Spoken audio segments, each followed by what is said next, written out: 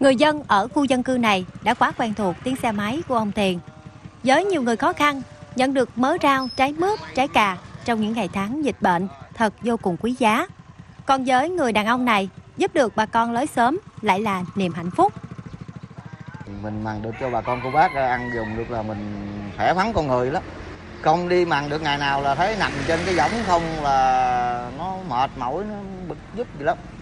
Bởi vì là phải chạy cái, cái, cái, kiếm này kia để là giao mua đồ đặng là cho bà con cô bác ăn đi một buổi là cũng vui nữa. Cách ngày cho ngày. Còn mấy bữa kia kia thì mấy bữa mà nhiều đó thì chú cho ngày nào cũng cho hết trơn á.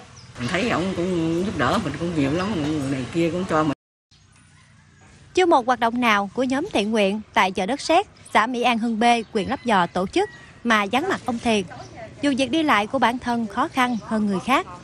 Như ở gian hàng không đồng này ông là người đi tận ruộng để thu mua rồi cùng những thành viên khác phân loại và mang đến từng nhà. Chú này cũng có cái tâm là thiện nguyện nên ở đâu có thiện nguyện là chú lại tới tiếp à. Bất cứ ở đâu hết.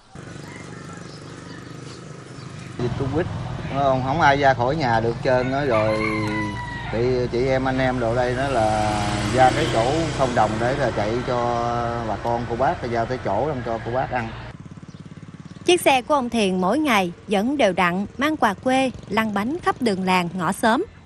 Thế mới biết đóng góp cho cộng đồng đâu chỉ có người dư giả hay lành lặn